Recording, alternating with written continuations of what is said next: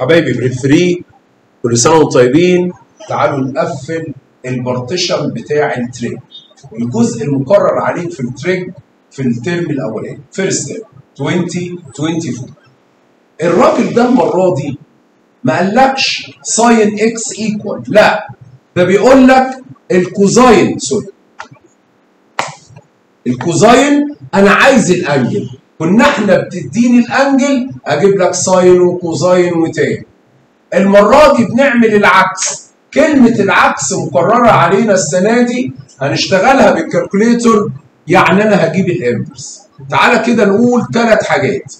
لو اداني sine وعايز ال measure بتاع ال angle. لو اداني cosine وعايز ال measure بتاع ال angle. لو اداني tan وعايز ال measure بتاع ال angle.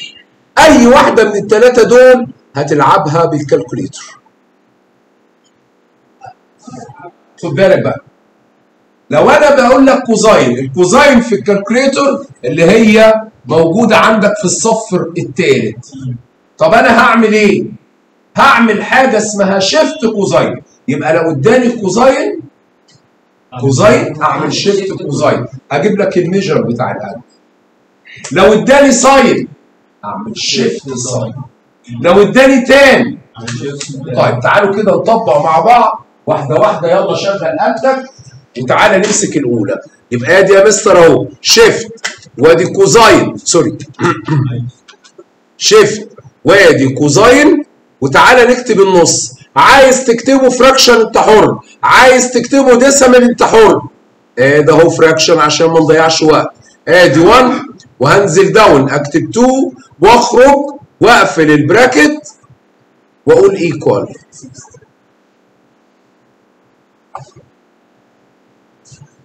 معايا يا حبيبي؟ طيب. في حد الآلة الآلة ما طلعتلوش الإجابة؟ طب كلنا طلعناها. عملنا shift وهنا ال ratio اسمها cosine يبقى shift cosine ال answer طلعت كام؟ 60 حاجة ما طلعتش عندنا طب ثانية واحدة. بس خلاص نعمل stop نشوف كده. حبايبي تعالوا كده نشوف فكرة تانية. الراجل الجميل ده بيقول لي 2 sine equal tan إيه ده؟ ده حط لي ratio في اليمين و ratio في الشمال وعايز يعرف ال x كام degree طبعا دي مش الإجابة ده أنا بس بقول كلمة degree تعالوا كده ناخد المسألة ونشوف هل ينفع أحلها مرة واحدة ولا لازم أعمل خطوة خطوة. اسمع لو سمحت. ادي ال two وادي ال sine. اشمعنى يا مستر دي missing ما العبش معاه لكن الجديد دلوقتي انك هتظهر لك angle 30 angle 60 angle 45 هم الثلاثه دول اللي هنكمل بيهم آخر حاجة في ال unit بتاع ال trig. فهو بيقول لي 10 60 يبقى أنا هروح على ال calculator. أكتب كده. 10 ادي اهو 10 آدي 10 مفيش shift أقول له لأ. وآدي 60 واقفل. وتعالى نقول equal. طلعت لي كام؟ يبقى الباشمهندس حمزة جاب لي ال tan 60 root 3 أنا لسه ما جبتش طب ممكن نسمع وبعدين نبقى نروح للآلات؟ باشمهندس خد بالك من ده. خسارة نضيع الوقت. طب يا مستر هل دي زي الثلاثه اللي إحنا حليناهم؟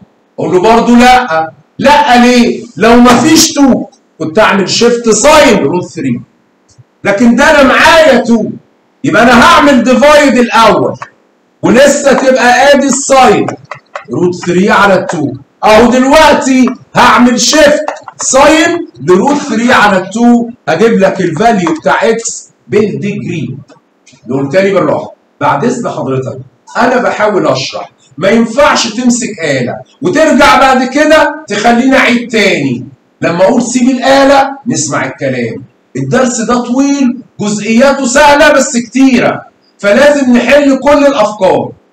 أقول تاني عندي x معاها sine أو cosine أو tan يبقى مش هعرف أبتدي بيه. الناحية التانية. الناحية التانية عندي tan إيه الجديد؟ في آخر درس مقرر عليك trig إن أنا ممكن ألاقي angle 30 الاقي angle 60 هلاقي angle 45 مفيش ثلاثة غيرهم؟ لا هم دول بس. لما تيجي أي واحدة من دول قبلها sine cosine tan بشتغل على طول بال calculator.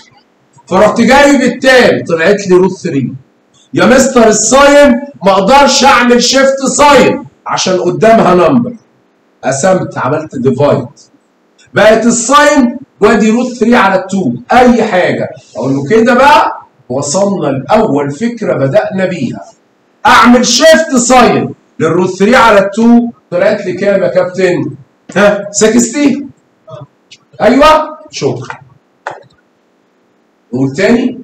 تعالى كده يا مستر نقول فكرة تانية وأنا حابب إن أنت اللي تحل مش أنا اللي أحل أنا هعمل stop حبايبي تعالوا نشوف فكرة تانية.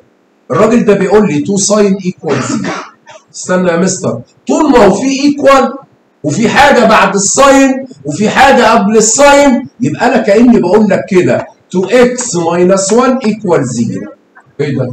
دي equation يبقى دي كمان equation دي equation يبقى دي كمان equation أحلها إزاي؟ زي ما احل دي هتعمل إيه؟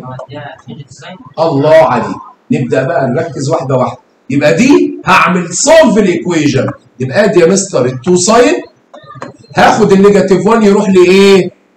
هل ينفع أعمل shift sine 1؟ لا لا ليه؟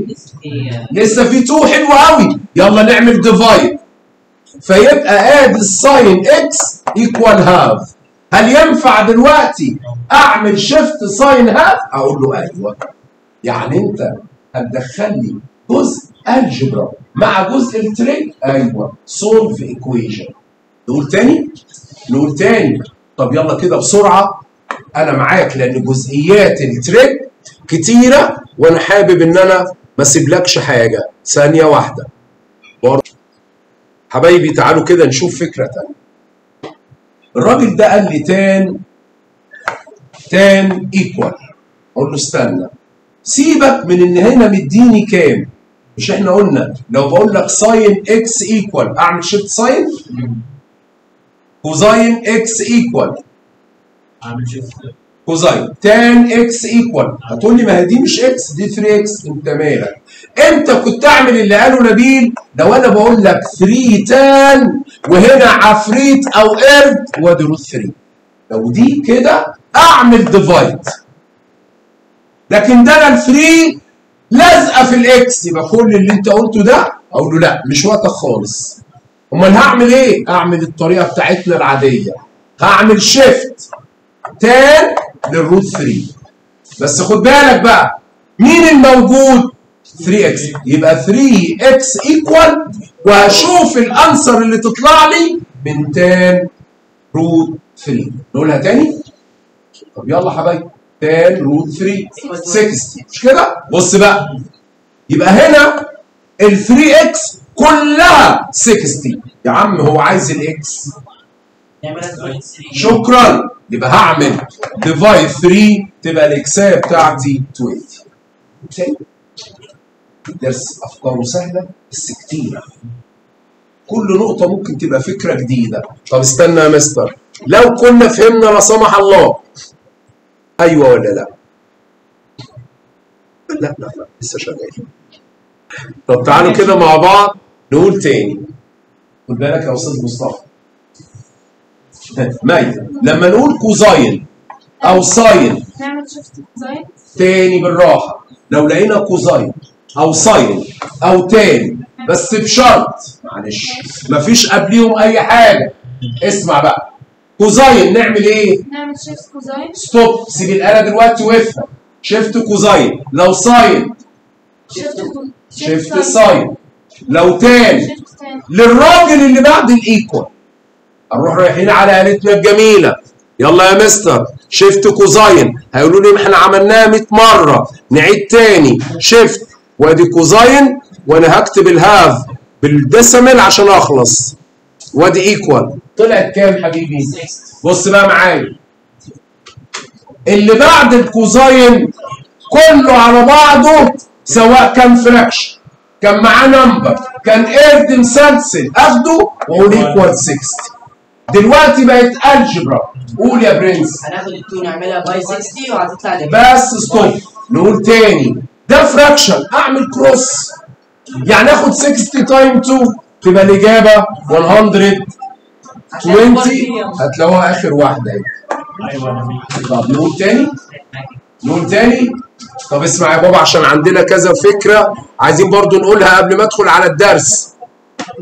بصوا لي على نمبر 10 يا ترى فيها فكرة ولا كفاية؟ أنا عارفها ثانية يا حبيبي.